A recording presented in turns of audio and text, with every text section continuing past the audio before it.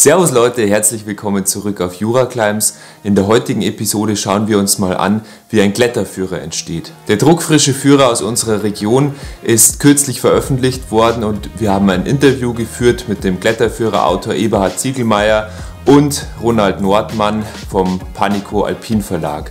Sie geben uns Einblicke in den Prozess, was notwendig ist, um einen Kletterführer zu erstellen. Im Anschluss gibt es noch ein paar Impressionen von der Release Party. Viel Spaß beim Video.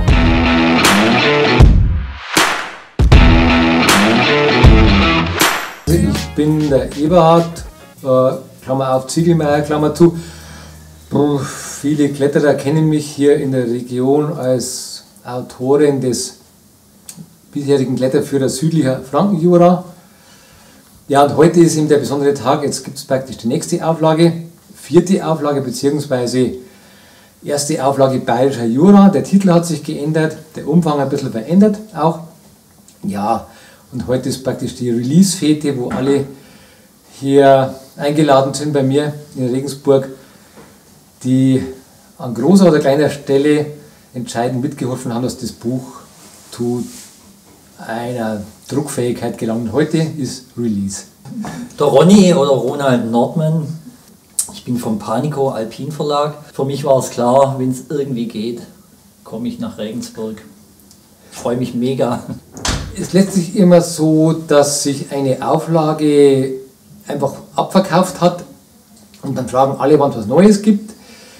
Und dann kommt immer so eine kleine Interimszeit, wo es eben dann gar nichts gibt und dann fängt man eben an, seine gebündelten Informationen wieder ähm, zusammenzutragen und ein Layout zu erstellen ähm, und einen Verlag zu fragen, wie man da zusammenarbeitet. Und dann wird es so, ja, Woche für Woche wächst man so zusammen und hat ja dann als Ziel, nicht nur einen Aufguss zu machen ähm, von der bisherigen Auflage, sondern es war die Intention, ähm, nicht nur den Titel zu ändern, Bayerischer Jura, sondern einfach eine Bebilderung neu zu machen, Inhalt auf aktuellen Stand der Dinge zu bringen und dann neue Sachen mit reinzubringen, dass so der Stand der Kletterei in der Region ganz top aktuell dargestellt ist mit frischer Bebilderung. Ja, ich habe jetzt bei der Auflage gar nicht so viel direkt mit dem Projekt zu tun gehabt. Das machen bei uns dann einzelne Mitarbeiter, die dann eigentlich von A bis Z den Prozess begleiten. Äh, es ist natürlich schon immer so, dass ich dann auch mit den Autoren zwischendurch Kontakt habe. Der Eberhard war auch im Frühjahr beim Autorentreffen bei uns auf der Schwäbischen Alb. Dann bespricht man auch manche Dinge. Und also die Fügung bei allen Projekten und ganz besonders hier ist vielleicht, dass der Eberhard ein Perfektionist ist und wir Schwaben, ja, uns äh, hängt dieser Ruf eh auch an. Und dann stachelt man auch so an, man tauscht sich ja dann auch aus, gibt gelayoutete Seiten, man gibt wieder ein Feedback und ja, also dann das Ende vom Lied ist eigentlich immer, es dauert deutlich länger, als man sich am Anfang gedacht hat. Äh, zählt einfach das Motto, gut Ding braucht Weile. Und, also ich denke, man sieht es dem Buch jetzt auch an, dass da ganz viel passiert ist im Vergleich zur vorigen Auflage. Ja, wahres Wort eben Perfektionisten, Ronny und ich, im positiven Sinne, und zwar zwei Buchfreaks treffen aufeinander, um ein bestmögliches Ergebnis irgendwo rauszubringen. Und Perfektionismus im positiven Sinne hat dann das Werden des Buches bestimmt. Und man ist schon so gegenseitig, irgendwo beflügelt man sich, was Fotografie betrifft. Und zum Schluss geht es dann auch bei den PDF-Layouts und kleinste Korrekturen, da geht es immer hin und her wie beim Ping-Pong. Und von den letzten Korrekturen, die letzten Kommasetzungen, die letzten Bildänderungen, die letzten Topo-Updates, das geht dann wirklich so im Kleinsten und das ist heute Finale. Am meisten Spaß macht Klettern selber, äh, auch zu neuen Felsen zu kommen. Fotografieren macht Spaß, vor allem, wenn die Ergebnisse dann gut sind. Und ja, Texten macht auch Spaß, wenn man einen Text so verfasst, dass er gleichzeitig informativ ist, witzig, ähm, vielleicht ironisch ähm, und man hofft, dem Leser ein Lächeln ins Gesicht zu zaubern, klappt nicht immer, aber wenn man wenn das gelingt, das macht auch Freude dann. Mir macht am meisten Spaß, das Puzzle zusammenzufügen. Das ist wie früher beim Eisenbahnspielen. Da war aber das Spielen, wenn die Eisenbahn fuhr, gar nicht, so das Ding. Das war Bauen an der Modellanlage. Und so ist es jetzt beim Büchermachen auch. Also das, diese Teile zusammensetzen und was zu kreieren, was man ins Haus geliefert bekommt, das macht am meisten Spaß. Das Buch dann natürlich, das Fertige zu sehen, macht auch Spaß, aber da muss man ja wissen, da ist bei uns eigentlich schon das nächste Buch wieder in der Mache. Wir geben das ja in die Druckerei. Das ist auch ein schöner Moment und in der Gruppe wie heute Abend, das ist natürlich dann auch ganz was Besonderes. Das gibt es nicht oft, aber eigentlich ist das, das Basteln an dem Buch, so wie Basteln in Naturbewegungen rauszufinden und so, ist das, was am meisten Spaß macht. Also das Klettern selber. Ja, genau, ja, genau. Thema, es ist das Teamwork. Ja, das Teamwork ist es, also hat mit extrem vielen Leuten kommuniziert und es ist für mich auch extrem vitalisierend, ähm, mit allen, die da so mithelfen, ob es Fotografen sind oder Kletterer, ähm, mit allen immer zu kommunizieren und damit also die junge Generation irgendwie so mit, mit zu begleiten. Es macht mir echt viel Freude, auch dieses ähm, mit allem in Kontakt zu bleiben. Und das ist auch mit das Schönste, ja. Das sieht man dem Buch dann auch an. Ja. Der Eberhard ist hier einfach so eine Figur, der bringt ganz viele zusammen, der vernetzt die Jugend mit den Alten und äh, ja, man merkt es dem Buch jetzt an, dass, hoffe, dass ja. da auch so ein bisschen eine neue Generation mit reinkommt. So. Und ja, 2009 war die erste Auflage, jetzt 2022 die vierte Auflage. Ja, das sind jetzt 13 Jahre, da hat sich auch was geändert. Wenn man damals 2009 irgendwie das Gefühl hatte, naja, ob dann noch was nachwächst, irgendwie, nach uns kann eh nichts Wichtiges mehr kommen. Jetzt, 13 Jahre später, sind ganz andere Leute auch leistungsfähig und klettern vor Ort und haben einfach diese ganze, den ganzen Kulturraum so aufgesogen wie so ein Schwamm. Und wenn man seinen Teil dazu beigetragen hat, das weiterzugeben an die nächste Generation, dann war das genau auch im Sinne des Erfinders. Wir arbeiten tut man eigentlich immer so ein bisschen, also im Sinne von Informationssammlung und ähm, Topo aktualisiert halten, aber dann von der Absichtserklärung, Abstimmung mit dem Verlag bis zu dem, dass es jetzt druckreif ist, eineinhalb bis zwei Jahre etwa. Ja. ja, also da machen sich viele Nutzer auch, glaube ich, kein Bild, wie viel Passion, wie viel Einsatz da dahinter steckt. Also angefangen beim Autor, der dann ja schon eigentlich auch die Jahre vorher schon dokumentiert und Aufschriebe sich macht und ein Korrekturexemplar vielleicht führt und dann geht es irgendwann im Verlag los, aber auch da, wir wollten ursprünglich mal im Sommer des Jahres fertig sein, der Eberhard. Ihm war es auch wichtig, dass er mal wieder was anderes äh, im Kopf haben kann als immer dieses Projekt, aber es hat ein halbes Jahr länger gedauert. Diese ganze kleine Arbeit, man macht sich keine Vorstellung irgendwie, wie oft dass ich da in die Wälder fahre und Topos seine meistens im Winter, wenn keine Blätter auf die Bäume sind, minus 10 Grad mit der Thermosflasche und dann fährt man irgendwann nochmal raus und fährt nochmal raus und dann gibt es da wieder was Neues und da einen neuen Umlenker und da gibt es eine neue Tour. Man ständig so der Schwamm irgendwie, um das alles aufzusagen, Informationen und habe die Informationen, muss ich wieder rausfahren. Ja, und diese ganze kleine Kleinarbeit ist halt auch dann meinem Perfektionismus geschuldet, aber ja, man will jetzt auch sich nicht vorwerfen lassen, man wäre nicht irgendwie aktuell in seinem Informationsstand. Und das ist ja eine sehr vielfältige Region, das geht los mit dem Altmühltal. Für die Menschen, die jetzt so in der Halle sozialisiert werden, äh, eher ein undankbares Gebiet, würde ich mal sagen. Die Kletterei ist höchst technisch anspruchsvoll.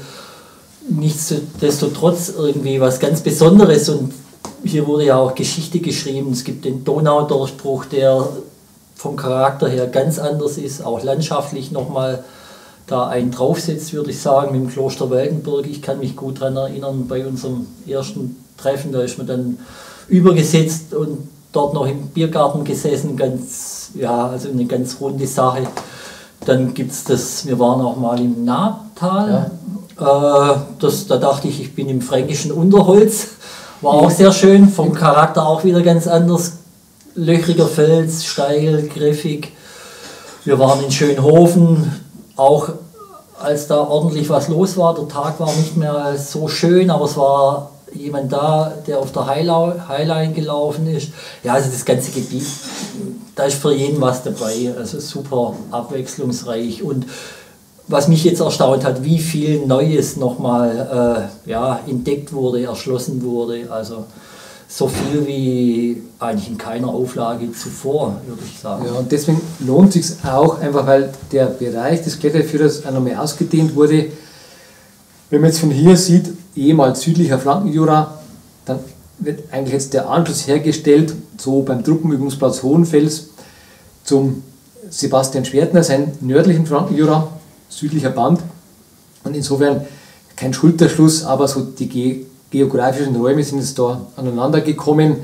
Also eine Ausdehnung des Gebietes bis Fehlburg, bis Hohenfels und auch die Bereiche der neuen Klettereien dort sind eigentlich nicht so für Extremkletterer, sondern auch eher so für den ähm, Kletterer, der 6., 7. Grad Kletterer ist auch einiges dabei, was sich wirklich lohnt, mal hinzufahren. Auch kuriose Ziele und einmal Ziele, die halt so in der Oberpfalz einfach erholungswert irgendwie darstellen.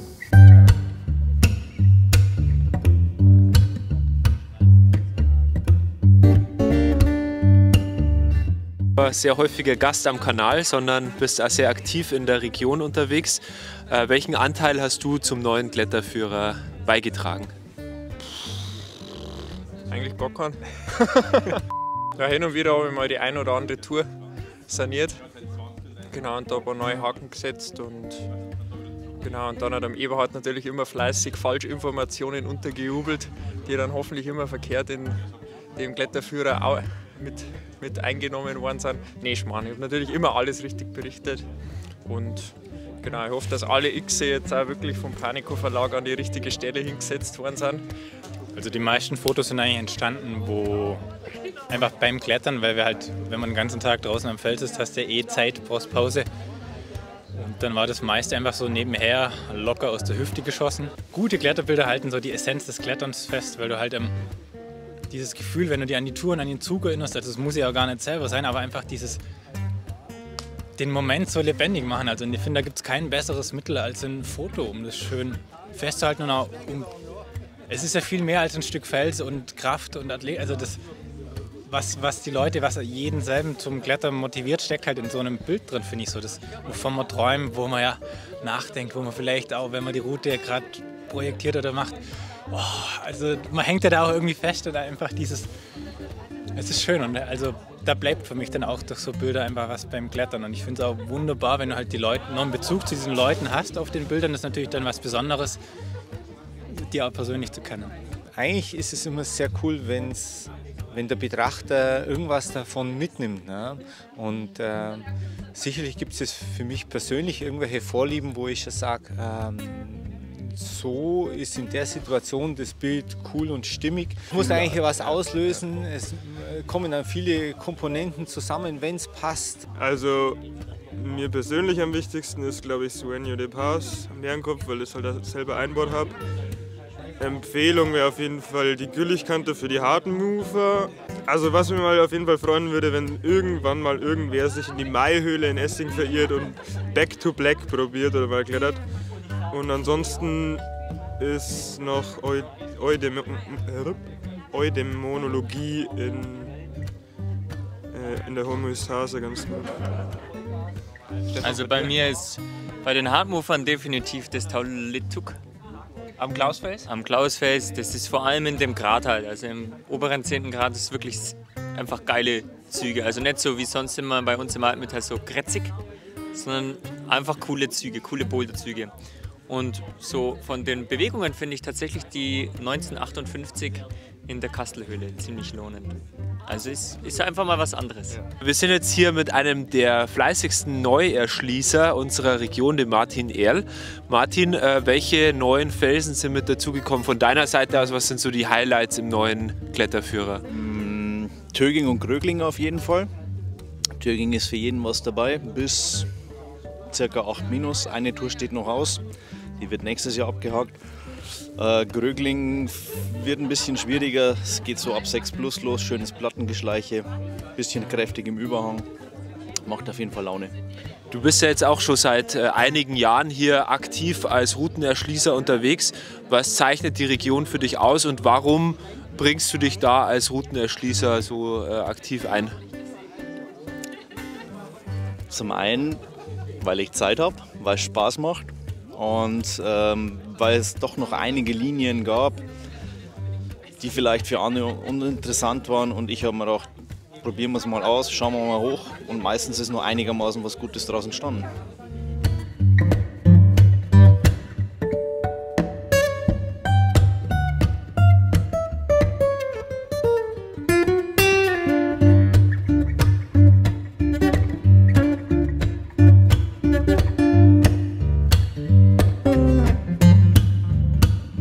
Wir hoffen, euch hat die Episode gefallen. Wenn ihr auch Interesse habt an dem neuen Kletterführer Bayerischer Jura, der Link dazu findet sich unten in der Videobeschreibung. Gebt uns gerne einen Daumen nach oben und teilt das Video, um unsere Arbeit zu unterstützen. Bis zum nächsten Mal auf Jura Climbs. Ciao.